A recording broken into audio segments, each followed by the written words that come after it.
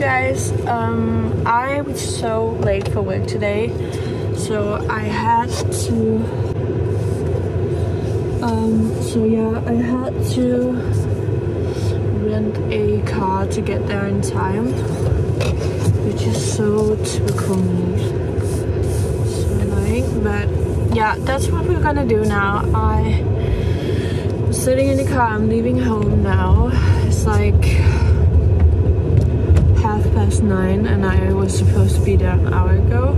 And yeah basically I just went to bed really late and yeah that's typical but there's nothing I can do about it now so I'm not gonna complain. I'm just gonna get to work as fast as I possibly can. And I'm probably gonna stay late today as well that's why I've set myself a goal. I wanna be able to wake up really early and not have to worry about the time that it takes me to get to work. So I wanna wake up so I have about an hour before I have to leave and then I have a whole hour to just get to work and still be there on time. So I think I'm gonna wake up at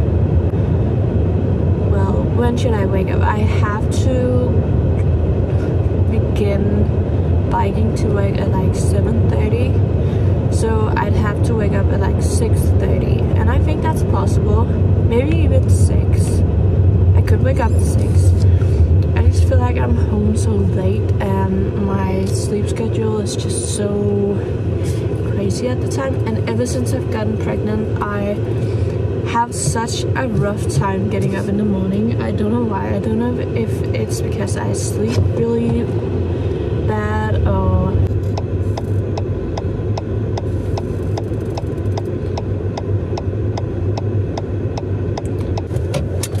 yeah, that's good enough. Turning the cup off.